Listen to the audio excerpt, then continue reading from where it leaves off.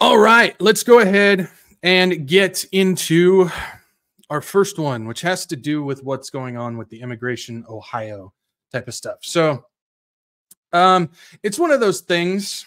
Again, this is titled Lies and Liars. And you guys know me, I'm blunt and I don't care who it is. Uh, if they're caught in a lie, they're caught in a lie and this type of stuff. So, first things first, I know the main focus, not the entire focus, but the main focus on this has been joking about and, and throwing out memes and talking about, you know, the pets and, and, you know, they're eating pets and stuff like that. Um, from what I've seen on this, I find it fascinating that um, there's evidence that points to both the whole pet eating thing being false as well as real. Um, so I'm not going to sit here and tell you anything is true or false regarding that. I just find that fascinating. Um, but also coming with it, I find it interesting is um, when JD Vance, uh, who uh, was interviewed recently, um, he came out and explicitly said sometimes we have to make stories in order to get uh, news attention uh, for these types of things. And he kind of put it out there saying that Trump was the one that was pushing um, the the pet thing recently at a couple of his rallies, and so it I think it's like uh, whenever you see something like that, that tells me that hey, this hand's doing something flashy. What's the other hand doing? Because that's always a misdirect, uh, in my opinion. They're trying to hide something behind it. They're trying to make a joke out of it. They're trying to push uh, a funny, light narrative over here. Funny, quote unquote. I don't actually mean it's funny that if there are pets being eaten, that's that's funny. But you guys know what I'm saying. More of a light side to possibly something being much more dark. Now, if you know anything about the Haitians, um, voodoo. Haitians are big on voodoo. They're big on paganism uh, rituals. Uh, they do this stuff all the time in their country. That's why I was saying pray for Spencer right now because he's going into very dark territory. Um, and so they like to do this stuff, and it's not just animals. I don't recommend doing it, but if you do, be warned. Uh, but Haitians do it to people. Um, they're notorious for cutting up and sacrificing living beings, human beings, to do this type of stuff. And so, if they are actually practicing that that stuff in uh, Ohio, um, then it would be not it wouldn't be surprising if they were going to pets and and whatnot. And I've seen again, I'm not saying what's true and what's false, but the stories that I've seen is there's a lot of stories that are absolutely fake. Uh, there's the story that came out that the person who posts started the whole thing about uh, uh, a Haitian stealing her pet, posted on Facebook saying that she made it up. Again, if that's true or not, we don't know. Um, that's that's the hard part is what do you actually believe is true or not? So I'm not taking a stand on that.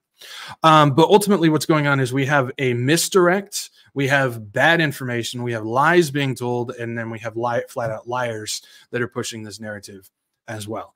And so let's go to the misdirect on this because I believe this is very important. When again, when you see a story like pets being eaten being promoted not only in the news but also by people like politicians something tells me most of the time not always but most of the time there's something else going on. And so i started digging following a trail um, of what's going on when it comes to this immigration stuff. So follow along with me uh, if you please.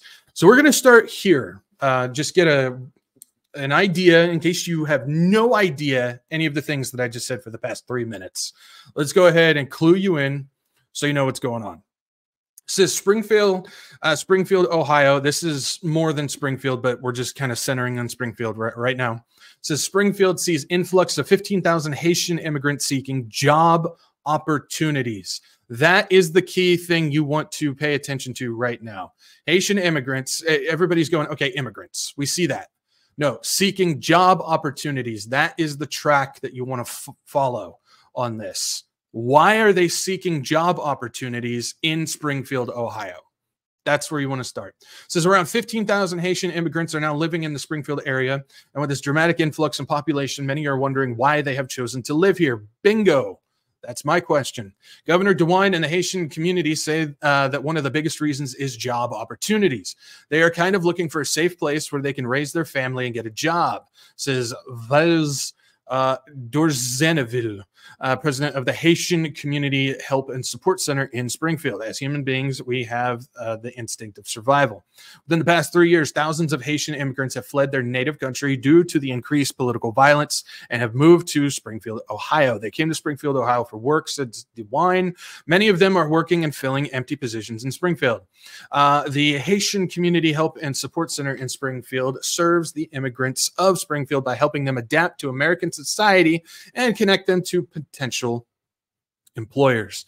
So we have an idea. So the, for the past three years, three years, what year is it? 2024. So about 2021.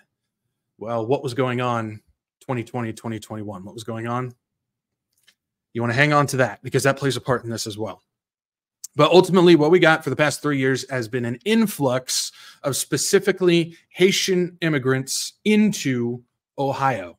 Again, they're just kind of focusing on Springfield, but uh, from what I've seen, it's all over uh, Ohio for job opportunities. So scouring around knowing the the immigration problems not only in the United States but Europe there seems to be something else that's driving these people to coming in. We've all had the question we all have theories we all have ideas. Um, this isn't necessarily about you know trying to come up with any of that. I'm just trying to focus on specifically this and so I went with the job thing what is going on when it comes to immigration Haitians the help and support center as well as job opportunity what's going on. Came across this. This is called Switchboard and it is uh, it says uh, connecting resettlement experts. Welcome to our one-stop resource hub for refugee service providers in the united states. Switchboard provides tools learning opportunities research and technical assistance covering a range of topics related to the newcomer experience. Some of the things that they handle is case management child and family services mental health and wellness employment monitoring and evaluation, identity, and inclusive services. This is a uh, NGO, non-govern uh, non-governance uh, organization that is designed to connect uh, experts on immigration to employers, to healthcare, um, to uh, family services, to diversity and uh, equity type stuff. This is a place that is connecting immigration, the borderless problem, as well as uh, the job replacement, which came from 2020, as well as the ESG and DEI departments of most of these corporations. Their goal is to bring in immigrants and inject them into society, and this is how they're connecting it. Okay, I'm sure there's plenty of those. Well, is there something else behind it? There is. The IRC, International Rescue Committee, who heads up Switchboard, received competitive funding through the U.S. Department of Health and Human Services, Administration for Children and Families, grant number 90RB0052, and grant number 90RB0053. The project is 100% financed by federal funds. The contents of this website are solely the responsibility of the authors and do not necessarily represent the official views of the U.S. Department of Health and Human Services, Administration for Child and Families. International Rescue Committee, as well as Switchboard, is 100% funded by the U.S. government to bring in immigrants and inject them into society to replace Americans. And one of the main beneficiaries of that is Ohio and the injection of 15,000 plus, I'll just say plus because I believe that there's more, but I can't factually prove that. Um, Haitians to take jobs and homes and positions, part of that, you know, re great replacement uh, type stuff that's going on, replacing Americans with all these people. This is part of the underlying problem. Now, this is just one. This is just one. There's many out there. So I went and I took a look at the grants. How much money is the US? How much money are you, the taxpayer? How much of your money is getting paid to bring in illegal immigrants and to take your job? Well, let's take a look.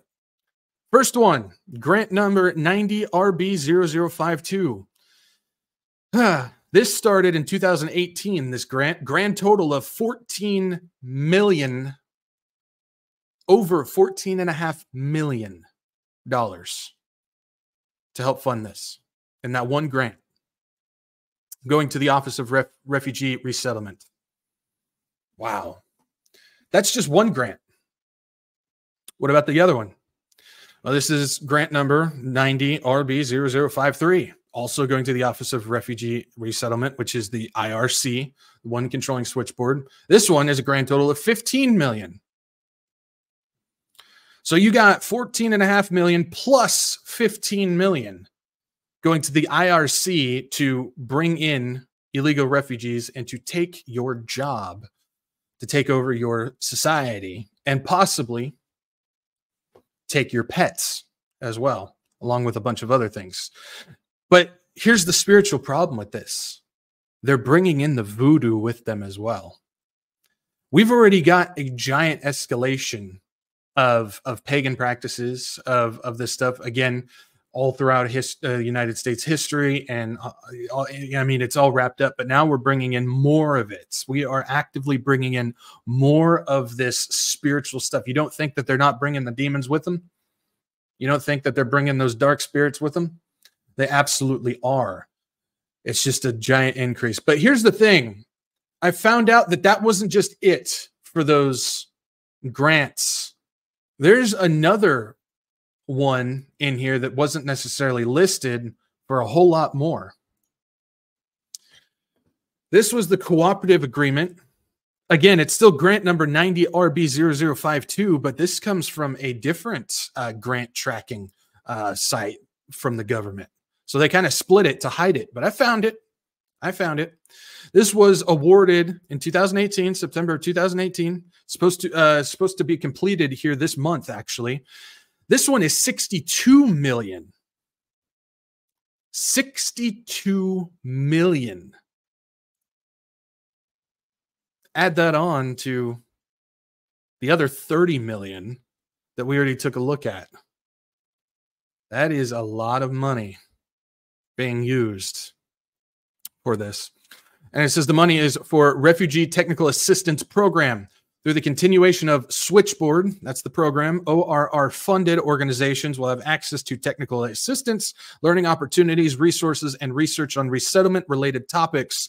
In year two, Switchboard will continue its work to help refugee service providers improve their capacity to provide evidence and strengthening based services, address barriers that clients face, measure the quality and effectiveness of their programs, and communicate program results. Why would they need to communicate program results? Because the government requires it. Why? Because this is a government operation that's being done. It's just being done in the form of an NGO, which, as we know, that's their way of getting away with this stuff, being not being attached uh, by by any way other than grants.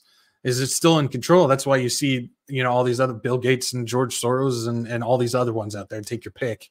They always operate through these NGOs or their their shell companies or or through um, charity organizations. But ultimately, this is the United States government program in order to issue in the next phase of replacement. They want to replace you. They want to replace me. And this is how they're doing it. This is how they're doing it. Let's take a little bit more of a peek when it comes to how they're doing this when it comes to jobs. So, uh, Switchboard, this is their their uh, documentation on their website. Um, it says supporting clients during times of economic hardship. Hmm. According to the National Bureau of Economic Research, a recession is a significant decline in economic activity spread across the country, lasting more than a few months. Recessions come and go. The 2020 recession ended a 128 month economic expansion, the longest in U.S. history.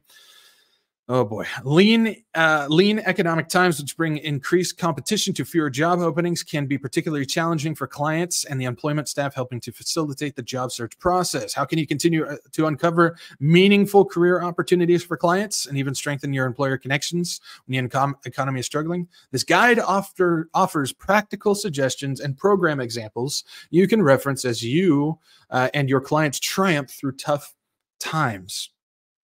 And so we can see here responding to economic recessions as a job developer.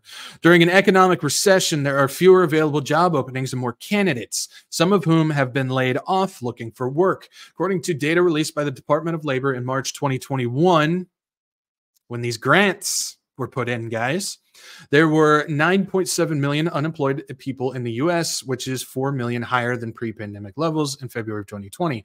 Recessions are challenging times for clients and job developers, but you can implement strategies to help clients weather a current recession or prepare a future one. Getting ahead of a job developer when economic times are tough requires creative strategies and focusing on three aspects the market, your employer network, and clients. Okay, so before we go further, there's another thing I want to show you in there.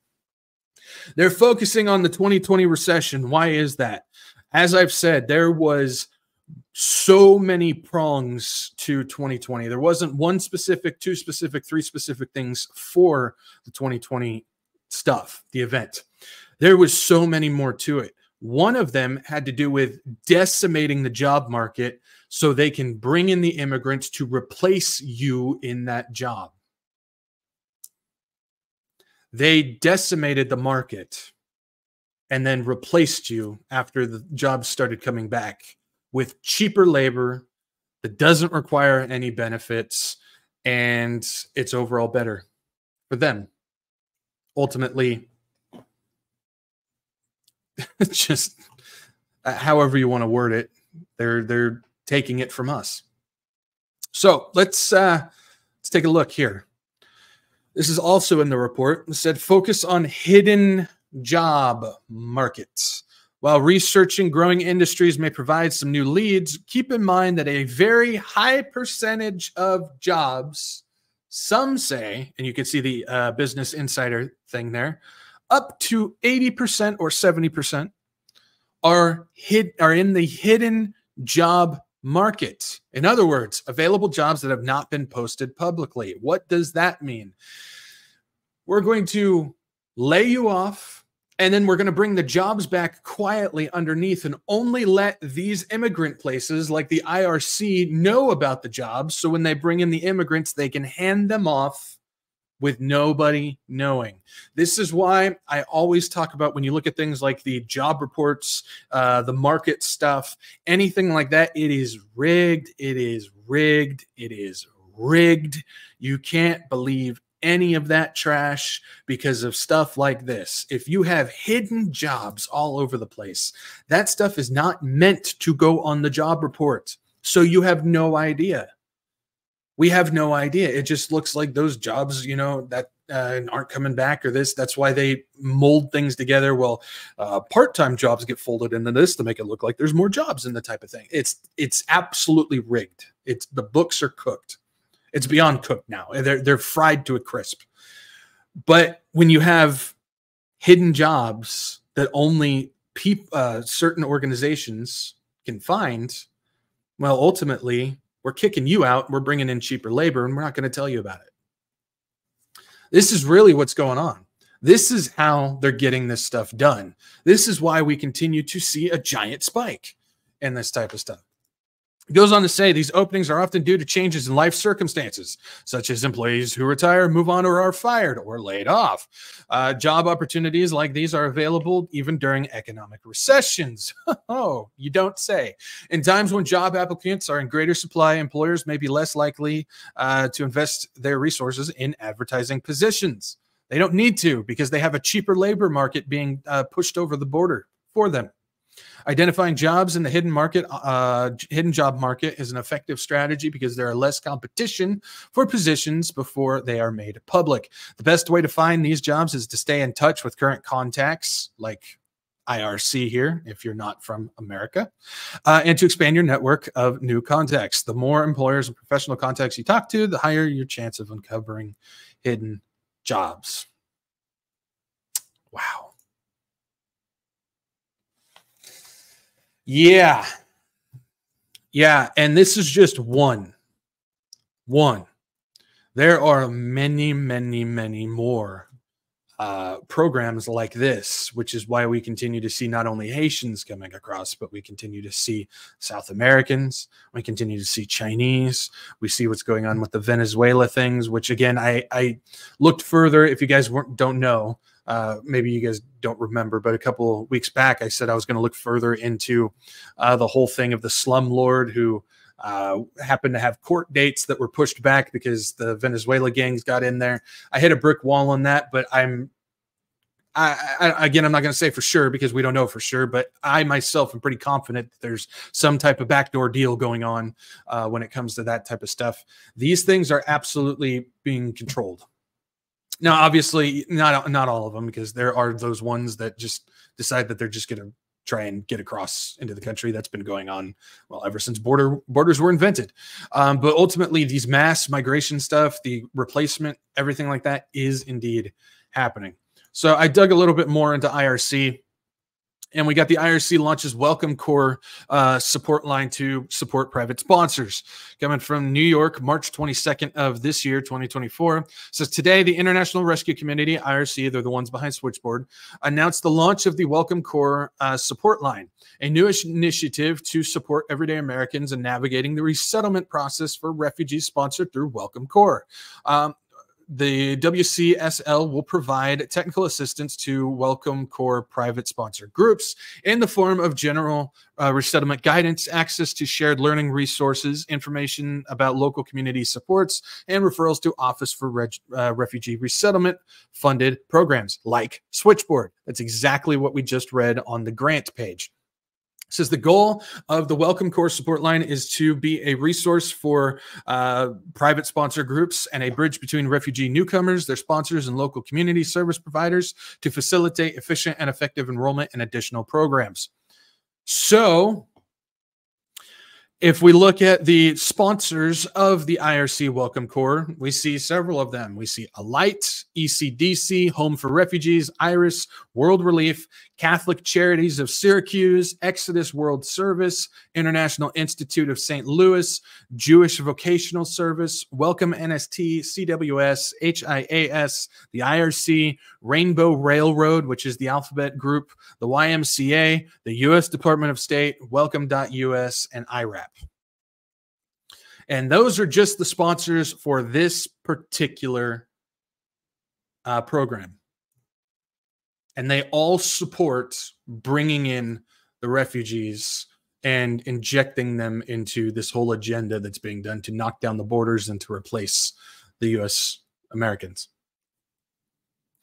So, while many focus on the whole pet thing, I believe that's just one giant distraction that we have no idea is true or not. And I know there's a lot of people out there that put it out. Uh, you know, it's like, well, I, I know a guy who knows a guy who said that his pet was stolen and stuff. No offense. I can't take that as credible. I don't know who you are. I don't know your friend who knows their friend. I, I, I can't take that as credible. It's when we start going down stuff like that. You, you guys remember back in the day, you know, kindergarten playing the game of telephone.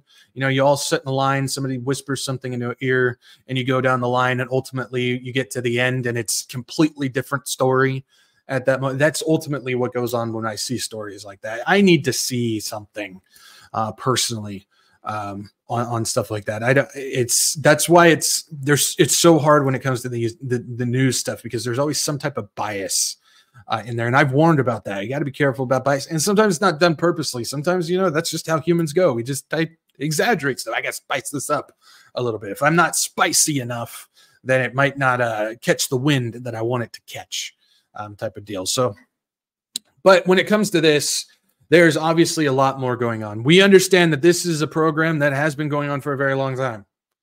Uh, that's no surprise. We've seen it actually start to unfold. We see the detriments uh, that's happening, vandalism and lawlessness and murders and and and um, other stuff, uh, sexual assaults and, and and everything like that. Um, that's increasing. Well, I'm here to tell you, they're getting into the next phase and it's getting worse. And they're bringing their voodoo with them. Not only are they bringing the drugs, not only are they bringing the gangs, not only are they bringing the violence and the sexual assaults and the robberies, but now they're bringing the voodoo with them. And this is going to get worse. There's no way to stop this. That's my biggest thing. When you have government agencies that are working through NGOs like this, you, it's not going to stop. And that doesn't, and, and I'm sorry, Actually, I'm not sorry. I'm just going to be completely blunt because that's how I operate. Having somebody in there who's sitting there going, I'm going to wall the border, who wants to use that as an excuse to bring in uh, facial recognition and biometric identification and, and tracking and surveillance is not going to change this. This is the biggest thing that I'm trying to tell people is there's no stopping this. The walls are coming down. The border walls are coming down. And nobody is going to fix it. I know somebody it's like, oh, why you got to be like that, man? Because it's just nobody else has done it like that. It's just this is how it's going to happen. This is how it's going to happen. So this is the next phase of this great replacement, as well as the removals of the borders. Again, 2020 was uh, built um, for many different things, including one of them being reducing the jobs, creating a, a, a silent, hidden job market for this program to move forward, and other programs as well. And again, the focus has been on the pets and the animals, but there's obviously, again, this is another situation of when the hand is doing this, what's this hand doing? And it's not just here. I've warned about this as well. Um, it's uh, Europe's worse. Europe is worse. They've been worse. Um, let's just just go. Let's go right here. They've got their own thing going on. Germany to welcome Kenyans in labor deal says Berlin has agreed to allow skilled and semi-skilled Kenyan workers into Germany in a controlled and targeted labor migration deal. Does this sound familiar? Does this sound familiar at all? It's like the same thing we just we just covered. It's we got jobs. Come and take the jobs of the Americans, or in the case, come and take the jobs of the the Germans. We forget our own people. We don't care about them. We want cheap uh, labor that doesn't require any type of benefits at all, bring them in. Again, this is the agenda. This is the globalist agenda in action says Kenya is struggling with increasing difficulties in uh, providing work and sufficient income for its young professionals, while Germany is facing a shortage of skilled labor. The German government has said that uh, has said that the deal does not specify the number of workers who will be allowed in. hang on to that. We're going to answer that in a second. This is the German government has said the deal does not specify the numbers of workers who will be allowed in. I believe that they did, and it was a slip up, and I'll show you in a second. So hang on to that. We'll come back. Says migration agreements are a central pillar in German government's uh, efforts to curb immigration. The agreement will also simplify the uh, repatriations of Kenyan, uh, yeah, of Kenyans who are in Germany without legal permission. Five Kenyan bus drivers have already welcomed to Flensburg uh, in the north of Germany in a pilot project. Okay, so it says does not specify the number. I believe that they did. Um, yeah, just again, hang on to that. I want you guys to remember to hang on to that. Immigration is a huge issue in Germany at the moment, uh, following the rise in popularity of the right anti-immigration part, whatever. Uh, successive governments in Berlin have allowed relatively large numbers of asylum seekers to settle in the country in recent years. Germany took in more than 1 million people, mostly fleeing war in countries such as Syria during the 2015 to 2016 uh, immigrant crisis and have received 1.2 million Ukrainians since Russia's full scale invasion began in February of 2022. Again, that's another outcome of the whole Russia Ukraine thing was to push uh, more immigration. The labor deal was signed in Berlin by Germany's Chancellor Olaf Scholz and Kenya's President William Ruto. Germany agreed to ease some of its immigration laws to urge to ease some of the immigration laws. Do they not see what's happening in Europe? Let's lighten it up, guys. Let's bring in more of them, shall we? That's that's the right thing to do. It's just again, these people aren't stupid. I know a lot of people look at this and go, "How stupid can they be?" No, no they're not stupid. They're being told what to do by people who are much smarter than they are, who are controlling all of what's going on right now. These people are not stupid. They're just being told what to do and it's working perfectly. Look at what's going on in Europe and the United States right now. Says uh, again, Germany agreed to ease some of the immigration laws to enable Kenyans to find employment in Europe's biggest economy. Authorities in Berlin will also consider extending temporary residence permits for Kenyan workers who have secured an approved job. Kenyans will also be issued with long term visas to study or do, vo- do vocational training in Germany. Okay, let's get back to the number that supposedly the government did not release of how many they want in. Correction 14th of September 2024. An earlier version of this article put a figure on how many Kenyan workers would be allowed into Germany under the deal. The German Interior Ministry corrected this to state that the deal did not specify a figure. What was the uh, figure? 250,000 Kenyans. Not 250, 250,000 Kenyans. That was the initial report that came out coming from the guy who was involved with making this deal. And then the German government said, oh, no, no, no, no, no. We did not uh, say the amount. Now, they never said that they didn't actually make an amount. They just said, no, no, no, no. We never specified what that amount was. I believe that that was a rollback to try and just wipe out the number because they understand 250,000 new immigrants. They don't want that out there, but it's out there.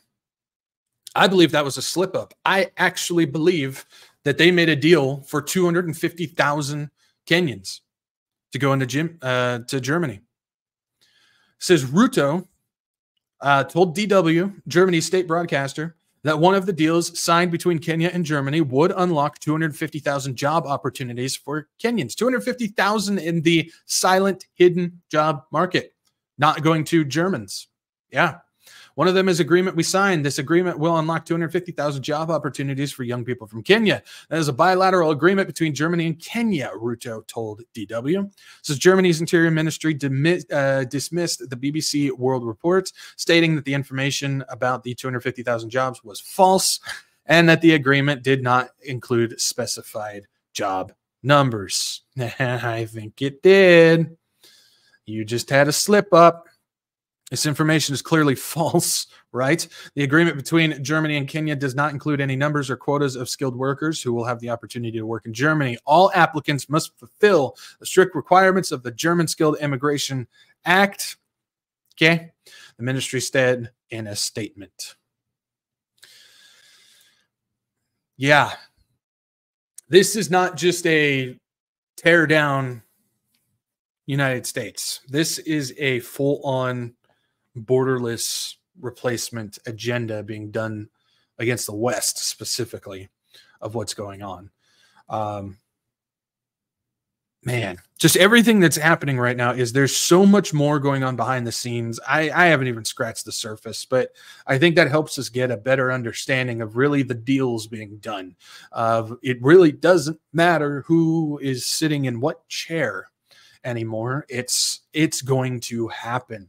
This is something that I, I wish we as as Christians, as prophecy watchers, um, and I know a lot of a lot of people do.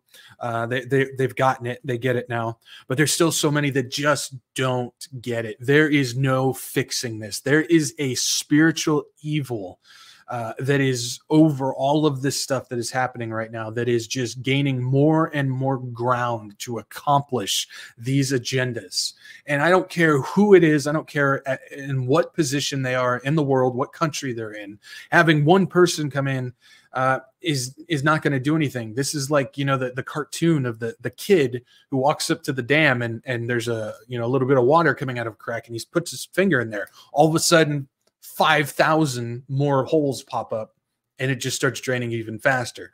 That's what's going to happen. That's what is happening. And it's been happening for a long time.